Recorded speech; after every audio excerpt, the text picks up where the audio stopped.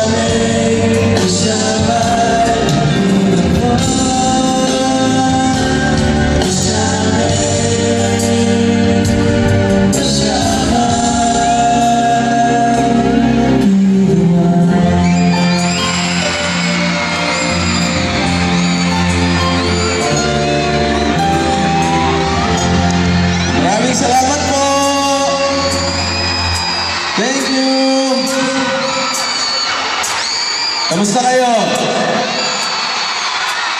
Hindi ko marinig. Kamusta ang arena? Wow. Taas ng energy, ha? Anyways, sabi ko nun sa sarili ko, wish I may be able to offer something for the church.